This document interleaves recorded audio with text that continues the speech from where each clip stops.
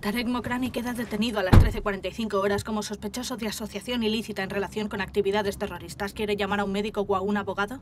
Será mejor que hable con tu jefe.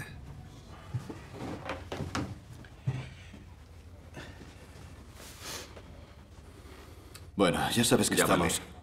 ¿Podemos hablar? Quiero ver a Martin Berrier. ¿eh? Hola, trabajo para vosotros.